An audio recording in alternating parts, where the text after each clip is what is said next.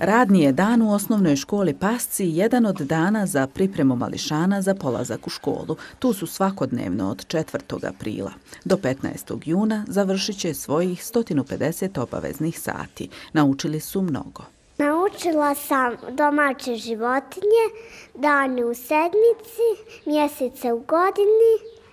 Naučila sam godišnja doba, naučila sam o osjećanjima, o porodici. Odgajateljica Hidajeta Hotić će se nakon dva i po mjeseca rada u ovoj školi vratiti u vrtić javne ustanove naše dijete. S ovim mališanima obavila je zadatak. Mi e, smo prvenstveno stavili akcent na socijalizaciju djece, e, što je i ključno u ovom obrazovnom dijelu.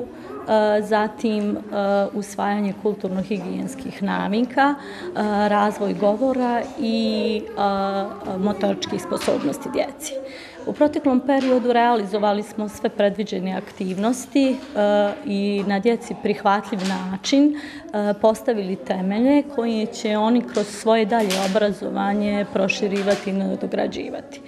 Ove godine škola u Pascima ispratila je 18 maturanata. Novih 14 učenika bit će dovoljno da se formira jedno odjeljenje. Djece, kao što znamo, svi sve manje i manje.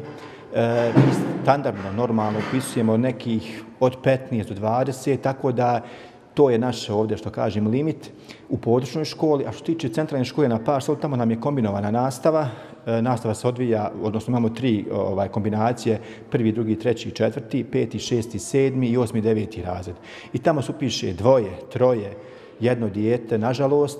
Prvačića je manje i u većini drugih škola na području Tuzlanskog kantona. Prošle godine u prve razrede upisalo se 3700 maličana. Ove godine 3547.